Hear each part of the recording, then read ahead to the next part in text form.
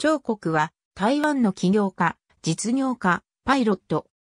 エバーグリーングループ創業者、超栄起こりの4男で2013年以降に、エバー航空やグループ内閣者で、当時長、グループ副総裁を務めたが、父の死後は、後継者争いに巻き込まれる形でグループを追われ、自ら星境航空を創業した。愛称は、系統、小径、キロワットちゃんなど。エバーグリーングループ1996年にエバー航空地上職として手荷物取扱実務に従事して以降、現場職から養殖まで多数の部門を経験している。1998年に総合職へ移動。主席副総経理を経て、2005年にはエバー航空総経理に抜擢されるが、家庭問題により1年で辞任。無給で在籍したまま、米国に留学後、2009年に帰国。エバー整備部門の超栄光太鍵協理、副総経理、兼任で、エバー航空企画本部長、で2010年にはボーイング777から 300ER の副操縦士訓練終了とともに、同期の整備士資格も取得。同年エバー副総経理に再昇格。2011年よりエバー総経理、2012年11月に B777 基調資格を取得。2013年1月にエバー当事長就任。同時に民謡航空局の基調試験に合格し、台湾で唯一のパイロット資格を持つエアライン経営幹部となった。自らが定期便の基調や新機材受領後の自国へのフェリーフライトを行う。2014年9月1日、エバーグリーングループ副総裁に就任。2016年2月18日、前月に逝去した父の遺言状を公開し、グループ総裁に就任することを宣言した。しかし、イボ兄弟との確執により、2月22日にグループ総裁を解任され、管理総部の部署も廃止されるなど文字通りの3日転下となった。2016年3月11日、国際選機長として乗務中の不在時に、グループにより当事長の職位も剥奪された。この時はシンガポールから台北への任務が予定されていたが、安全上の理由からエバー上総部により乗客として帰国させられた。同時期に、長英海運、東ごと、英運東ごとの座も失った。星境航空2016年11月30日、彫刻は出資者を募って法人、星境航空を設立を大々的に発表。この時点では、航空会社としての資格を有しておらず、投資業という形態だった。しかしその2日後には、台中市の旅行業者である松林旅行者が先行して、商標登録申請を当局に行ったため、同業種の星境航空側の使用時に障害となった。使用権をめぐって、両者の争いは続いたが、知恵財産法院は、国の動向は常に世間の注目を浴びているため、国が星境の名称を公表した段階での報道で、すでに広告効果が現れており、登録が後だったとしても消費者の認知度は問題ないとして、第一審で業者側の主張を退け国の勝利となった。国法案2017年、10期体制での指導を示唆するなど航空会社設立の動きを具体化させる。従来は外部からの新規参入に際して国際運輸、貿易業務の運営5年以上や年間売上高60億台湾ドルなどを規定していた民用航空運輸業管理規則について、御蔵司である国の資産やエバーの当事長かつ、パイロットだった経歴など、法人であること以外の個人の支出は障害とはならなかったため、交通部が条文改正に踏み切り星境の新規参入を事実上認めることになった。そのため、修正法案は国、上官とも呼ばれる。設立後2018年、投資業保守航空が交通部法案改正施行後に正式に航空会社として成立する。王子の復讐と台湾の各メディアは書き立てたが、本人はもはやプリンスではなく、キングになったと述べ、一族への復讐よりも自身の飛行機及び空への愛が動機としている。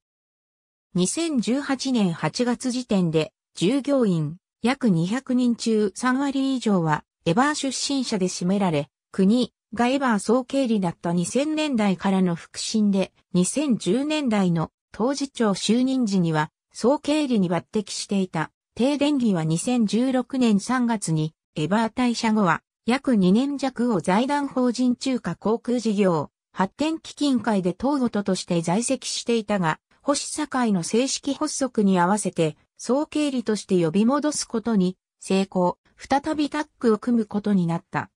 また、グループのスポークスパーソンだった上国位、エバー企画室副総経理だった敵喧嘩など国の戦友とも言えるベテラン幹部が含まれており、かつての部下からは慕われていたことが伺える。だが帝は2018年末に病で逝去し、少なくない衝撃を国に与えている。2020年1月23日に決定した運行初日に自身が操縦するマカオ便を急遽 JX205、206から JX203、204に変更した。これに伴い国と同乗することを目当てに航空券を購入していた当該便旅客に対し無手数料での払い戻しに応じる異例の対応を見せた。そして父の命日でもある1月20日に自社サイトでプロモーションビデオを掲載、スタッフロールとして全従業員と自身の使命を流した最後に特別感謝、調査会起こり先生と付け加えて父への感謝を表しただけではなく、運行当日には Facebook で割れ的進行シーマ、天海港、有高橋、賀門会下湯、方針、不階級、老期と投稿し、反響を呼んだ。2000年にエバー航空乗務員と結婚するも2005年に離婚。翌年には、子会社のユニー航空乗務員と再婚し西を設けると、初婚時には冷え切った父との関係も改善に向かった。父の逝去に伴って、遺言状に従いグループ総裁に就任したが、一族内での持ち株比率が低かったため、結束した他の議形定により解任された。表内の数字は、栄起こり正居時のエバー航空及び、長英海運保有株の比率を示す。当時長を解任後、実施が学校の同級生からパパは失業したのかと問われたという。2020年3月16日、台北地方法院は4男の国に全財産を分与するとしていた父、栄起こりの遺言上の効力を部分的に有効と認定した。民法上の特止分が適用されたため、まず半額を国が、残り半分を親族で6等分に分与されることとなった。これにより国は全資産の12分の7、58.3%に相当する約140億ニュータイワンドルの遺産を相続することになる。2020年10月議刑側は、この判決を不服として、控訴手続きを取った。エバー航空 CM の舞台となった、金城武氏の基地地から継承したプライベート機の、ボーイング737から 7BC、BBJ の 888UF エバー。当時長時代のインタビューでは広告はコストではなく、必要経費という考えを述べ、削減対象ではなく、投資対象として捉えていることを伺わせた。エバー御曹司という立場上、政財界の人脈は幅広く、世界金融危機後に戻った同社では腹心に据えた、停電儀とのタッグにより大胆なマーケティングを展開、業績回復を担った。2013年6月、エバー航空がスターアライアンス加盟を果たした際に、グローバル化の訴求のために国際的な知名度がある俳優の金城武をイメージキャラクターに起用し、CM、ICU で舞台となった台東県池上里の金城武の木は屈指の観光地として脚光を浴びるようになった。また、ニューヨークのタイムズスクエア巨大ビジョンでこの CM を流した。2014年に世界規模で流行したアイスバケツチャレンジにも参加、後続に、金城、ボーイング CEO だったレーモンド・コナー、民謡航空局局長だったチン・ケイを指名、自身は1万 US ドルを寄付している。パイロットのライセンスだけではなく、整備士の資格も保有し、機長として乗務する前に自ら点検をすることもある。その後、2019年7月にエアバス A321 ネオの操縦士免許を取得したことで、星境航空でも自ら機長となる意思が明確となった。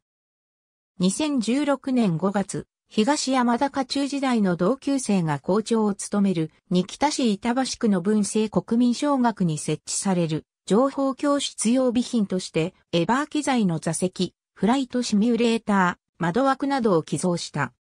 エバー退任時は、子と呼ばれるファンたちが、Facebook で、国が、当時長に復帰するまでエバーには乗らないと宣言するグループを結成したり、国が創業すると非公式のコミュニティ、星境航空ストルロックス講演会を結成するなど、退任後も御曹司の一挙一動に注目が集まっている。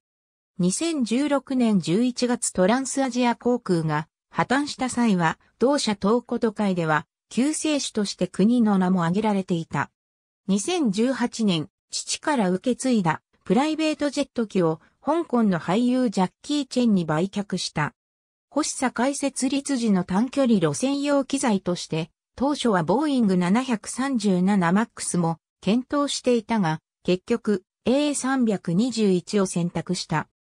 その後の B737MAX の不具合による事故とそれに伴う各社の運行停止を目の当たりにし、自社への悪影響を回避したことで、自分の選択眼が神かかっていたとコメントしている。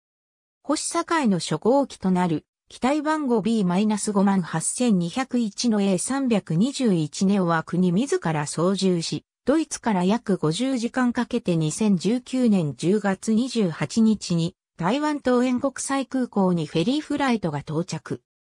多くの航空ファンが空港周辺に出没しただけではなく、管制官がウェルカムホームと更新したり、ドイツ出発前には国が機体番号の場所にキスをするパフォーマンスを披露するなど、派手なショーと化した。キティジェットの機内色、キティフト白覚号2005年、日本のサンリオがエバー航空に自社グッズの機内販売を打診してきた。総経理だった国は、販売にとどまらず多様なマーケティングを構想した。それは、機体ラッピング、機内インテリア、搭乗券に至るまで、ハローキティで埋め尽くすというものだった。国は自ら顧客となるキティファンの消費者心理を研究し、機内のトイレットペーパーから機内食の食器、乗務員の制服、買い物袋に至るまでキティ尽くしにする結論に至った。男性ビジネス客が主力だったことから、父の栄発を含めて、社内では効果を疑問視する声もあったが、女性客の増加だけではなく娘や女性パートナーへのプレゼントとして購入する男性客も多く、狙いは的中した形となった。キティジェットの欧州乗り入れに際しては、月額300から400万ニュー台湾ドルの費用を投じて、パリ近郊のラデファンスに機体を描いた幅60メートル超の巨大な看板広告を設置している。その後も HTC 創業者、王雪紅に直談判し、国内最大手通信事業者の中華電信の協力も得て、HTC バタフライ S ハローキティリミテッドエディションの製品化を実現した。エヴァとサンリオのコラボレーションは2005年から2008年までと2011年以降の延べ5年で搭乗率が10%向上し、機内販売の売上高も成長率20%を記録した。当時長就任後のキティジェット2機目は、それまでのラッピングから直接塗装に切り替えたが、これも国の美観上コストが3倍になってもやるべきという考えに基づくものだった。